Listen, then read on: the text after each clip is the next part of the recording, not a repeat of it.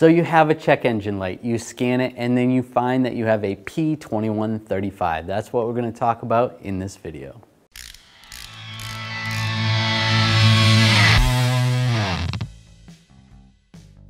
Now what that code has to do with is the throttle body.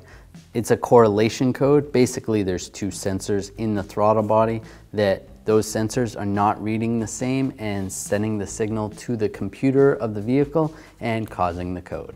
When you get that code, the potential problems could be the throttle body itself, it could be in the connector or the terminals, it could be in the wiring, or it could go all the way to the PCM or the engine computer. Now let's explain what the throttle body does.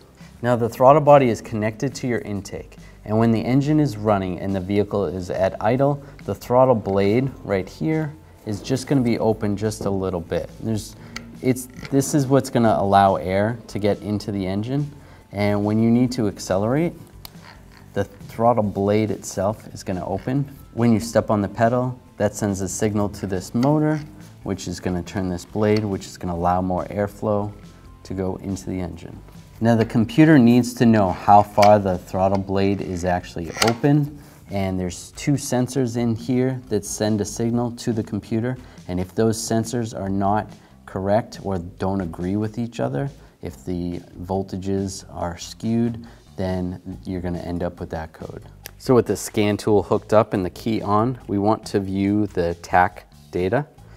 So we want to scroll through and find TP sensor 1, which is throttle position sensor 1, and then TP sensor 2, which is throttle position 2, and then sensor 1 and 2. So here we have sensor 1, here we have sensor 2. Now the values are not going to be exactly the same, but the important part is as the values increase, that they match increasing the same. And that's what sensor one and two agree says. Now different vehicles are gonna have different data that you can look at. Now this happens to be a GM vehicle. So this shows the two voltages. Now the voltages are not exact, which is exactly how it's supposed to work. So as I press on the accelerator, if I do it nice and slow, you're gonna see the values are gonna change. And they should change equally. And as long as this says agree, then that's good. If it does not say agree, then there's something wrong with it.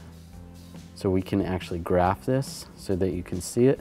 I'm just gonna let it stabilize for a minute. And then if I just step on the accelerator pedal slowly, you just wanna see that these are both going at the same rate, which they are and just push the pedal all the way down and just hold it. And if you saw one of these sensors spike, that's an indication that there's something wrong with that sensor. Now under the hood, what you can do with the scan tool, you can watch the data as you actually wiggle the wires and just see if any of these values change, see if that agree goes to disagree. You don't want to unplug the connector while you're doing this, but a little bit of change is not a big deal. But if you see significant if you were on the graph and you saw something spike, drop down, then that's an indication there's something wrong with that. So, or while you're doing this also, you could have someone pushing on the pedal and moving those readings. And what you can do is disconnect the connector and just take a look at it, see if anything looks corroded, see if there's, sometimes uh, if someone puts dielectric grease on this and it's not the correct dielectric grease, you could actually cause a code. Um, there is high voltage dielectric grease and low voltage for computer type systems. So if it was the wrong one, that could cause a code. But if you don't see anything there, a lot of times the most common problem is in the sensor itself. And sometimes the sensors are replaceable, but most of the time it's just easier to replace the whole throttle body. So for this particular issue, cleaning the throttle body is not gonna fix the issue. It is always a good idea to clean the throttle body, although this is an extra one, this is just a spare part. You really don't wanna open the throttle blade like this manually. You could ruin the internals to that. Although when you're replacing some of the sensors, sometimes it's required to open this up while you take this off. Um, but again, it's sometimes easier to just replace the whole thing. If you were to clean this, just use a brush and some throttle body cleaner, clean it. You never want to take those screws out either.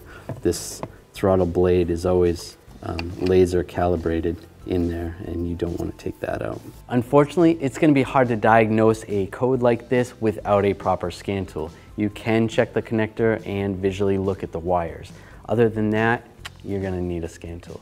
Hope you enjoyed this video. I hope it helped you out. If it did, make sure you subscribe to our channel, ring that bell, turn on all notifications so you don't miss any of our videos. Thanks for watching. Visit 1AAuto.com for quality auto parts shipped to your door, the place for DIY auto repair. And if you enjoyed this video, please click the subscribe button.